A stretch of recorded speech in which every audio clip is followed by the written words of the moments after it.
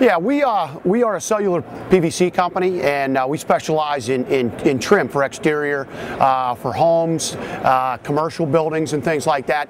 And what we have, we have a whole group of products that are uh, that are unique in that they add beauty to the exterior of the home without any maintenance issues. Because it's cellular PVC, it basically installs like wood cuts, routes, nails, screws, just like a lumber product, but yet you don't have any moisture sensitivity with it, so the product will, will be built to last. And we have a whole group of products. Uh, something new that we just brought to market is our soffit system.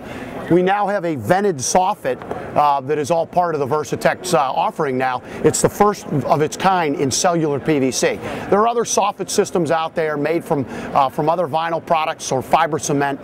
This is the only one in a cellular PVC, so it's a rigid form form of PVC. It installs uh, in a snap and it's 18 foot long so it reduces the joints. It's vented to give you 10 inches of free airspace per lineal foot. Makes it one of the best airflow systems in the market today. And it comes with a, uh, with a frieze board and a fascia piece that is notched or grooved to allow the soffit to just slide right in. So it makes for easy assembly on the job.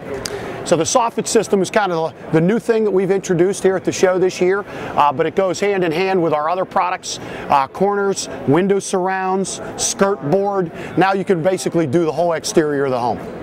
You guys have any expectations for the IBS show? Yeah, I mean, we uh, you know we always like to get in front of uh, you know it, it, obviously with the market being what it is, maybe the attendance isn't what it used to be, but we we try to target some quality leads. Uh, and we have a lot of builders that are that are coming down specifically to meet with us down here uh, from from various markets, and uh, we even have a little uh, an after hours gathering where we're going to bring everybody in. So um, one thing that we've we've learned to do over the years of doing this show, this is our this is our seventh show, is we plan a lot of events in and around the show. So if we don't get uh, a, a lot of traffic at the booth, we generate opportunities to meet with people through a variety of meetings, uh, both on and off site how's traffic been so far? I know it's early. Been all right. I mean, it's you know I, am hearing a lot about the snowstorm in the Northeast. I think that's holding some people back, but you know we're fairly optimistic. I think you know it, the market is starting to recover. I think there's a renewed optimism. I think I think 2011. Uh, I think people think we're working off the bottom now. We're feeling a little bit better about where it's going.